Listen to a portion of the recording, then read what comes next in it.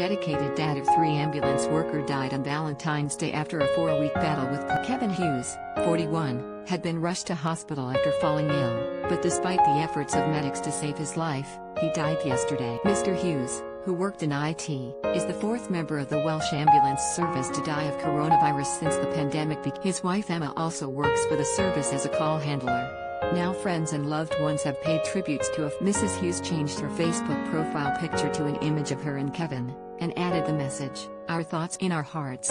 Liverpool fan Mr. Hughes, who lived in Valley, Anglesey, was dad to Liam, Sioned, Jason Killens, the chief executive of the Welsh Ambulance Service, said, Kevin's loss will be felt deeply by everyone here at Team WAST and we extend our deepest sympathies to Emma, Kevin's children and his wider family. Our focus will now be on supporting his family and bereaved colleagues at this most difficult. His line manager Kara Walsh said he was a well-respected member of the ICT service desk. She added, the messages that myself and the team have received from across the Welsh Ambulance Service since his death speaks volumes of how well liked he was. He will be truly missed by us all.